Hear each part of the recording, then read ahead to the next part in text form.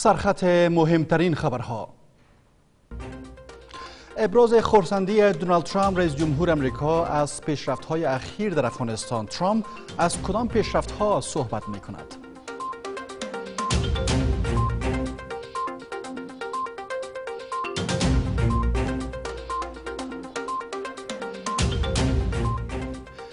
دیدار و گفتگوی رئیس جمهور غنی و شماری از مقامات و شخصیت های سیاسی کشور با زلمه خلیلزاد صلح محور این گفتگوها.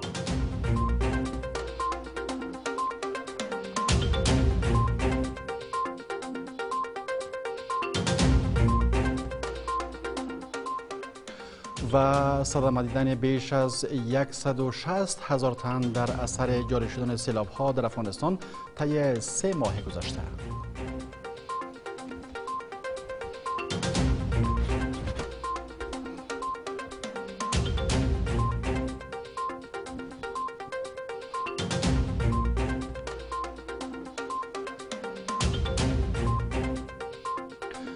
به نام خدا و با عرض سلام به خبر شش از نگاه خوش آمدید. امروز چهارشنبه چهاردهم حمل 1398 خورشید است که برابر می شود با سوم اپریل سال 2019 میلادی. مشروع خبرها دونالد ترامپ رئیس جمهور امریکا از های اخیر در افغانستان ابراز خرسندی کرده است. رئیس جمهور ایالات متحده امریکا در دیدار با ینس استولتنبرگ منشی عمومی پیمان ناتو گفته که امریکا و متحدانش اخیرا گام های مهمی را برای حل بحران کنونی در افغانستان برداشته است و گفته او حرکات مثبت در افغانستان در حال انجام شدن است اما باید منتظر نتایج آنها ماند در این نشست ینس استولتنبرگ منشی عمومی ناتو حمایت این پیمان را از تلاش ایالات متحده امریکا برای دستیابی به صلح در افغانستان اعلام کرد. دونالد ترامپ رئیس جمهور ایالات متحده امریکا شام روز گذشته به وقت افغانستان در دیدار با ینس استولتنبرگ سرمنشی عمومی ناتو از های اخیر در افغانستان ابراز امیدواری کرده است. رئیس جمهور امریکا گفته که غرب اخیرا در افغانستان های بزرگی داشته و اکنون مواردی مثبت در حال تغییر است و باید منتظر نتایج آن بود. امریکا با متحدان خود اخیرا گام های مهمی را برای حل بحران کنینی در افغانستان برداشته است. 19 سال جنگ در افغانستان تاسف و در برخی مورد هم مسحک بود. اما حالا چیزهای مثبتی در حال انجام شدن است که منتظر نتایج آن هستیم. در این دیدار ینس استولتنبرگ سرمنشی عمومی ناتو نیز بار دیگر از های ایالات متحده آمریکا برای دستیابی به صلح افغانستان ابراز حمایت و پشتیبانی کرده است. اما دونالد ترامپ رئیس جمهور آمریکا در مورد چه هایی در افغانستان صحبت می کند موافقتشان در قسمت جدول زمانی خروج نیروهای خارجی از طرف امریکا و از طرف طالبا. تضمین که بعد از این از خاک افغانستان به ضد امریکا هیچ کس استفاده کرده نمی‌تونه و روابط خود با گروه تروریستی و القاعده قطع می‌کنن فقط پیشرفت امی بده از سوی هم آگاهان سیاسی با اشاره به مذاکرات آینده صلح میان زلمه خلیلزاد و طالبان در قطر می‌گویند ایالات متحده آمریکا در این دور گفتگوها باید تلاش اعظمیش را برای کشاندن طالبان به میز مذاکره با حکومت افغانستان انجام دهد.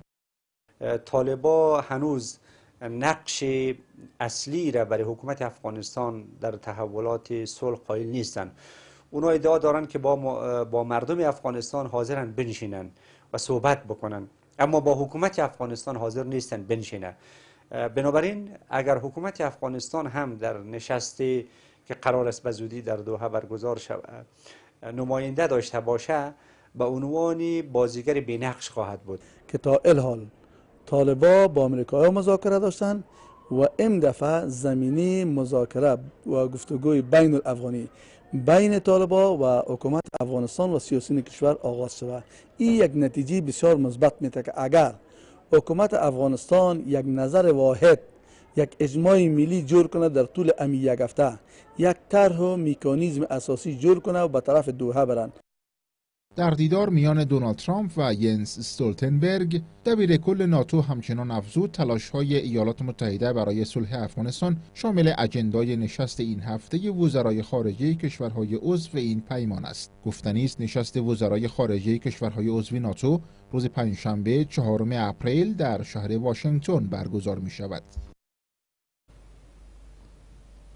رئیس جمهور غنی با زلمه خلیلزاد نماینده خاص امریکا برای صلح افغانستان در مورد صلح کشور دیدار و گفتگو کرد.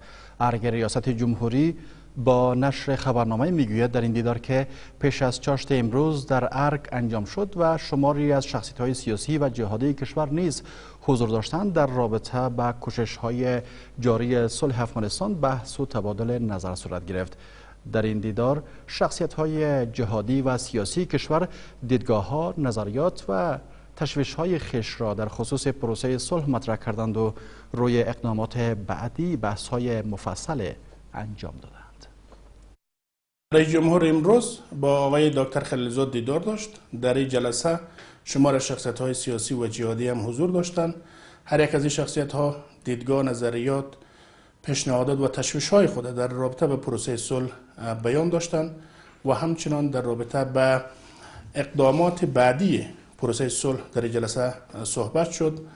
این سلسله نشست ها ادامه خواهد داشت و جزئیاتش بعدا با مردم شریک خواهد شد.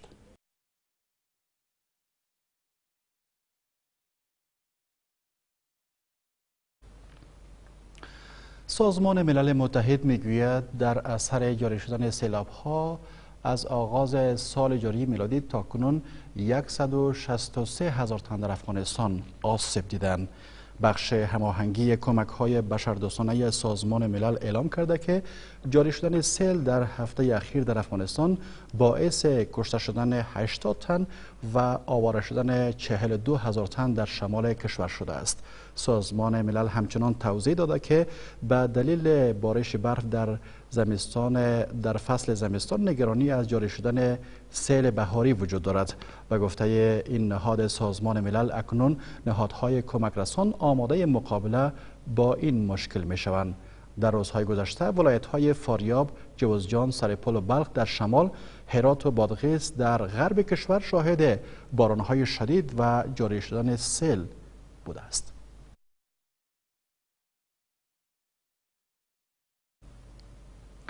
رئیس جمهور غنی می‌گوید که با امریکا به توافق رسیده تا روی هر موضوعی که مردم افغانستان نسبت به آن در پروسه صلح تشویش دارند به تفصیل صحبت شود. رئیس جمهور غنی همچنان با تأکید بر برقراری صلح برای آتش بس مساعد شدن زمینه مذاکرات گفته است که صلح در, در حاشیه نیست بلکه در متن گفتمان ملی قرار دارد.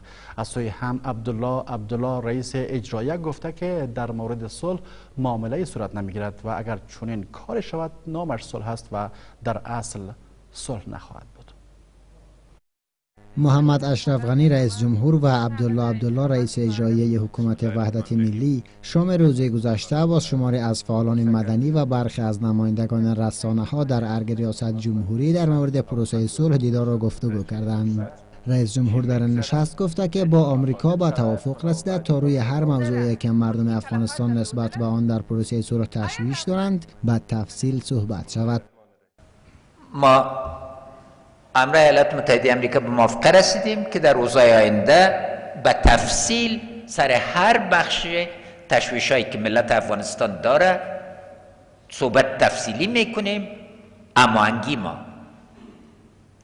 واضح است ضروری است و حتمی است و انشاءالله تعالی شاهد از خود آقای غنی همچنان افزوده که ترجیح حکومت بر برقراری آتش بس برای مساعد شدن شرایط مذاکرات همه جانبه می باشد. آقای غنی بر حفظ همبستگی و وحدت در گفتگوهای صلح نیز اصرار کرده و گفته است که در صورتی که همه در صف واحد قرار داشته باشند موقف حکومت و مردم در گفتگوهای صلح تقویت خواهد شد وی همچنان با تاکید بر رهبری افغانها در پروسه صلح گفته که صلح در حاشیه نیست بلکه در متن گفتمان ملی قرار دارد. افتخار داریم که صلح در حاشیه نیست در متن گفتمان ملی ما قرار دارد حال بحث سر از این نیست که آیا صلح بحث سر از که چی نوع صلح به چی طریق وسیله که تفاهمه که موجب ثبات شود. در نشست عبدالله عبدالله رئیس اجرایی حکومت وحدت ملی نیز گفته که خواست اکثریت مطلق مردم افغانستان برقراری صلح است و هیچ کس ادامه جنگ را نمی‌خواهد. با گفته آقای عبدالله در مورد صلح معاملت صورت نمی‌گیرد و اگر چون این کار شود نامش صلح است و در اصل صلح نخواهد بود. صلح اگر اون خاطر که شما یادآوری کردین که باید معامله در موردشان صورت نگیره اگر معامله در مورد مسائل اساسی صورت بگیره و نامش صلح بانیم تنها نامش صلح می باشه صلح اصلا ممکن نیست متصور نیست. ما از حقوق اکثریت مردم افغانستان چشم پوشی کنیم و اینطور تصور داشته باشیم که ما به صلح دست میابیم اصلا ممکن نیست و مقدور نیست. این در حال است که زلمه خلیلزاد نماینده ویژه امریکا در امور صلح افغانستان در جریان ششمین دور سفر خود در پیوند به پروسه صلح دو روز پیش وارد کابل گردید و سرگرم دیدار و بحث در مورد صلح با فعالان جامعه مدنی زنان و رهبران حکومتی و سیاسی کشور است. همچنان تا چند روز دیگر مذاکرات صلح میان آقای خلیلزاد و طالبان مسلح در قطر از سر گرفته می شود مذاکرات که در آن شماری از سیاسیون افغانستان نیز اشتراک خواهند داشت. شورای عالی صلح از ها در کار آمادگی ها برای برگزاری لوی جرگه مشورتی صلح خبر می دهد. سخنگوی شورای عالی صلح می‌گوید که تدابیر برای برقراری برگزاری لوی جرگه مشورتی گرفته شده و در روزهای آینده قرار است انتخابات برای عضویت افراد در این لوی جرگه در سراسر کشور برگزار شود. به گفته او طرز العمل برگزاری این انتخابات نهایی شده و نهادهای مربوط به برگزاری آن کارهایشان را آغاز کردند شورای عالی صلح از تازه ترین پیشرفت ها در کار آمادگی ها برای برگزاری لوی جرگه مشورتی صلح که قرار است به تاریخ نهم سور برگزار شود خبر می دهد. سخنگوی این شورا می گوید که تدابیر برای برگزاری لوی جرگه گرفته شده و در روزهای آینده قرار است انتخابات برای عضویت افراد در این لوی جرگه در سراسر کشور برگزار شود. به گفته او طرز العمل برگزاری این انتخابات نهایی شده و نهادهای مربوط به برگزاری آن کارهایشان را آغاز کردند. نهادهای مرتبط همکار دولت افغانستان هم کارهای خود آغاز کردند تا اینکه همکاری های لوجستیکی تکنیکی و امنیتی را به گونه خوب پلان ریزی بکنن. طرز العملی که در بخاطر انتخابات نمایندگان نهادهای ملی غیر دولتی که در کابل موقعیت دارند هم توسط کمیسیون تصویب شد و به نهادها فرستاده شد تا اینکه در روزهای بعدی انتخابات خود را دایر بکنن و رسما نمایندگانشان را بعد از انتخابات که رأی زیاده می‌گیرن به ما معرفی بکنن به خاطر عضویت در لوی جرگه مشورتی صلح سخنگوی شورای عالی صلح همچنان می افزاید که انتخابات عضویت افراد در این لوی جرگه مشورتی توسط والیان ولایات رهبری می شود و با برگزاری آن تمامی اقشار جامعه می توانند نمایندگانشان را در این لوی جرگه داشته باشند. از سوی هم وی بر همه شمول بودن این لوی جرگه تأکید ورزیده ابراز امیدواری می کند که برگزاری آن نتایج مثبت در راستای برقراری صلح در کشور داشته باشد. با همکاری ملت بزرگ افغانستان یک لوی که متفاوت تر از جرگه های گذشته باشه مثل همه شمولیت مردم افغانستان در او حفظ باشه نمایندگی واقعی از مردم افغانستان از اخشار اصناف از بخش های مختلف افغانستان داشته باشه این را کرده باشه. و همچنان بزرگترین لوی جرگه که با 2500 نماینده از سر تا سر افغانستان به کابل میاره به گونه خوب و درست و با محوریت مردم افغانستان تدویر بکنیم گفته می شود که در این لوی جرگه حدود دو نیم هزار تن از سراسر کشور اشتراک می کنند که حداقل سی درصد از اشتراک کنندگان آن را زنان تشکیل خواهد داد. لیوجین سانک سفیر جمهوری خلق چین مقیم کابل با استاد محمد کریم خلیلی رئیس شورای عالی صلح و معاون پیشین رئیس جمهوری اسلامی افغانستان روز چهار شنبه دیدار نمود. در این دیدار روی مسائل مهم افغانستان از آن جمله روند صلح گفتگو شد. سفیر کشور چین تلاش های شورای عالی صلح تحت رهبری استاد محمد کریم خلیلی را در یک کنیم دهه گذشته به دستاوردهای مهم نایل شده است مؤثر و مفید توصیف نمود. سفیر جمهوری خلق چین حمایت کشورش را از روند صلح افغانستان و تلاش های مؤثر شورای عالی صلح اعلام نمود و افزود افغانستان باثبات به نفع منطقه و جهان است و جمهوری چین در راستای تحقق صلح پایدار در افغانستان آماده همکاری و کمک همهجانبه است. و گفته این دیپلمات عالی رتبه چین این کشور آماده میزبانی از نشست بین الافغانی برای صلح است. و همچنان اظهار داشت که کشور چین از پروسه صلح تحت رهبری و مالکیت افغانها حمایت می کند و امیدوار است که روند قطر به یک گفتگوی نتیجه بخش بین الافغانی و استقرار صلح بیانجامد. سفیر جمهوری چین دیدگاه منطقه را نسبت به پروسه صلح افغانستان مثبت و همسو ارزیابی نموده و اظهار داشت که صلح افغانستان از طریق همکاری های دوستانه میان کشورهای منطقه و جهان به دست می آید سفیر جمهوری چین از رئیس شورای عالی صلح دعوت نمود تا در یک فرصت مناسب از آن کشور بازدید نموده و با مقامات جمهوری چین دیدار داشته باشد. استاد محمد کریم خلیلی رئیس شورای عالی صلح از همکاری های دوامدار چین با افغانستان اظهار قدردانی نموده و نقش چین را در تحقق پروسه صلح با اهمیت توصیف کرد. رئیس شورای عالی صلح اظهار امیدواری کرد که جمهوری چین برای هماهنگی های بیشتر و مؤثر میان کشورهای منطقه و جهان در حمایت از پروسه صلح افغانستان نقش ایفا نماید. و همچنین از حسن نظر جمهوری چین نسبت به افغانستان سپاسگزاری نموده و اظهار داشت که در یک فرصت مناسب برای جلب حمایت های بیشتر چین از روند صلح با مقامات آن کشور دیدار خواهد داشت.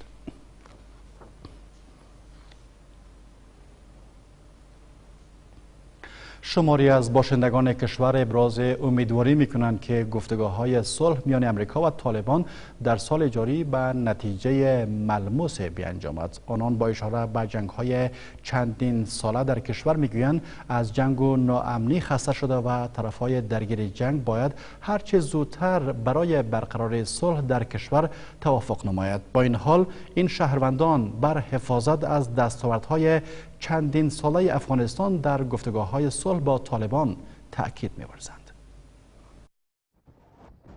همزمان با داغ شدن دوباره بس ها در موضع پروسه صلح باشندگان کشور نیز ابراز امیدواری می کنند که صلح پایدار در کشور هرچی زودتر برقرار شود شهروندان کشور می‌گویند که از سالها جنگ و خونریزی به تنگ آمدند و خواهان برقراری صلح هستند.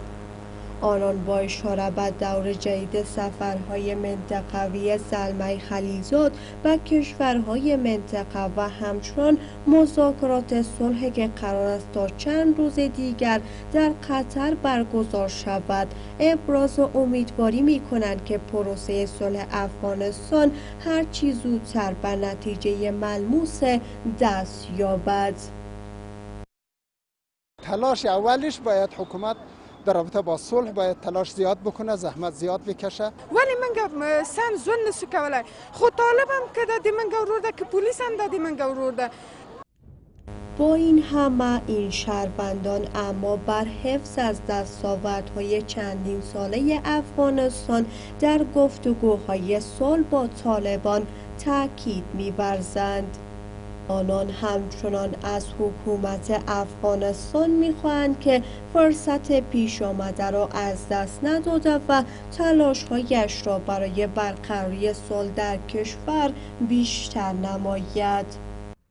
خواهش می‌کنیم که امنیت گرفته شود تا مردم صلح و آرامی بیاید تا مردم به صلح و آرامیش زندگی کنند. صلح یک چیزی حتمی است که باید از ما انسان ها برای ضرورت داریم که صلح باید از بیاید ولی صلح نه را دغه کیږي باید ټول خویندې ورونه ټول مور پلار هم دغه خویندې ورونه دي طالبان هم که دی کلمه میاو شایده که منگ هم هستو ولی دا دا بی اتفاقی این در حال است که قرار است تا چند روز آینده ششمین دوره از نشست های صلح در دوحه پایتخت قطر برگزار شود.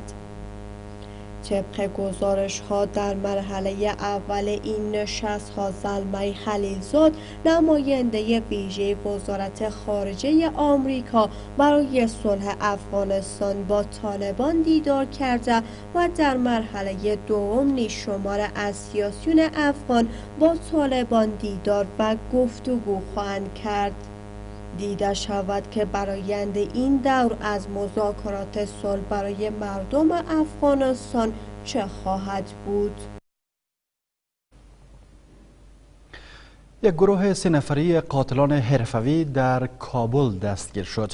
محمد محفوظ ولیزاده قماندان امنیه ولایت پروان می‌گوید که پلیس ولایت پروان در هماهنگی با پلیس قماندانی امنیه کابل ناوقت شب گذشته عملیات را برای بازداشت این قاتلان در منطقه خیرخانه شهر کابل راه اندازی کردند که در نتیجه قاتلان از سوی پلیس بازداشت شدند و گفته قماندان امنی ولایت پروان این متهمان روز گذشته راننده یک موتر نوی کرولا را در مرکز پروان به قتل رساندند و موتر وی را با خود بردند.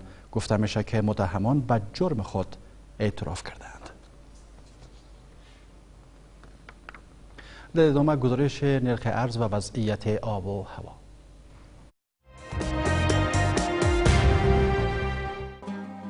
یک دلار امریکایی 76 افغانی و 70 پول یک پوند انگلیسی 99 افغانی و 90 پول یک را 85 افغانی و 15 پول یک درهم امارات 20 افغانی و 80 پول.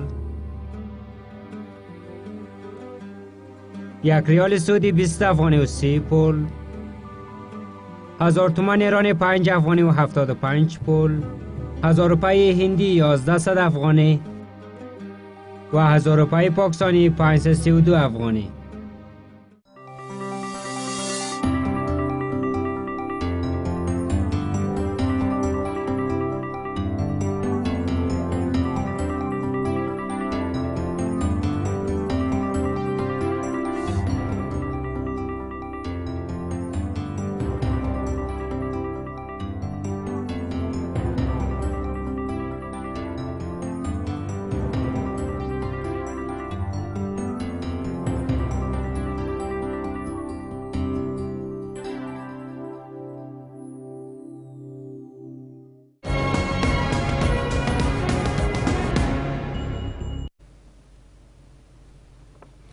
این هم چند خبر از خارج کشور.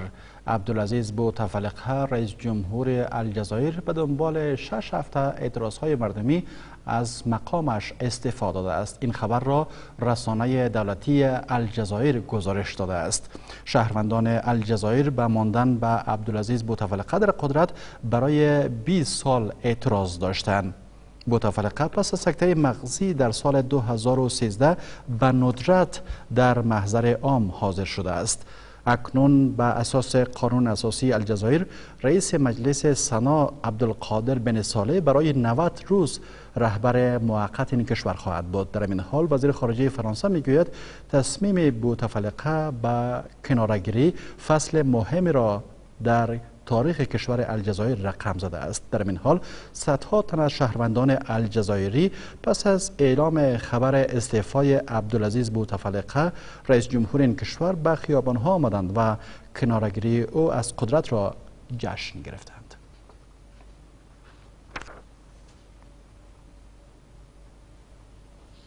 کارشناس امور طبی آمار جانباختگان سیل در ایران را 62 تن اعلام کرد. یک کارشناس طبی ایران می‌گوید که تا کنون اجساد 62 تن از جانباختگان سیل اخیر به مراکز طبی قانونی تحویل داده شده است. پس از چند روز بارندگی و جاری شدن سیل و تلفات و خسارات گسترده در برخ مناطق همزمان مقامات دولتی و نظامی ایران یکدیگر را به ناتوانی در اقدام به موقع برای امداد رسانی متهم کرده و خبرگزاری داخلی هم گفته است احتمال دارد این سیل عمدی بوده باشد. خبرگزاری ایرنا گزارش کرد که پس از چند روز بارندگی سنگین در مناطق غرب و جنوب غرب ایران هوای این مناطق ثبات نسبی یافته اما هنوز آب گرفتگی برای برخی مناطق فروکش نکرده و خرابی ناشی از جاری شدن سیلاب کاملا مشهود است.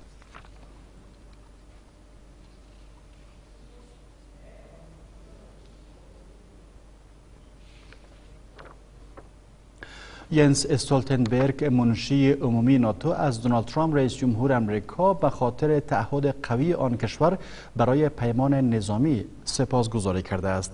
منشی عمومی ناتو به رئیس جمهور امریکا می‌گوید که متحدین ناتو باید برای دفاع از خودشان پول بیشتر بپردازند. دونالد ترامپ همچنان گفت که خواهان روابط بهتر با روسیه است.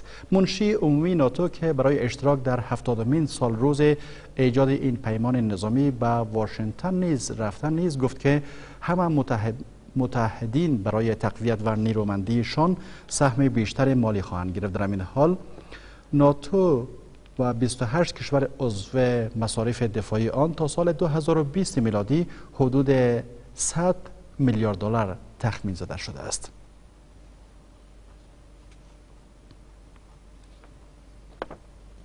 شورای عالی انتخابات ترکیه درخواست رجب طیب اردوغان رئیس جمهور این کشور برای بازشماری آرای انتخابات اخیر شهرداری ها در 18 حوزه از 39 حوزه این شهر را پذیرفته است.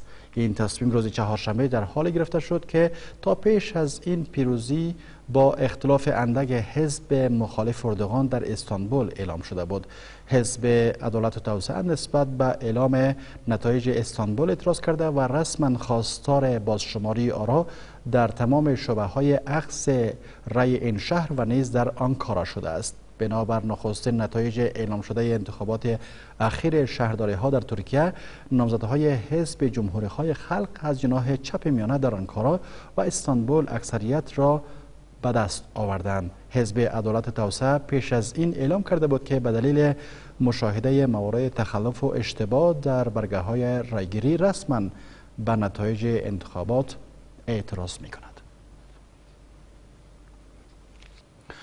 بیننده های عزیز این بود سرویس خبری این ساعت که تقدیم حضور شما گردید.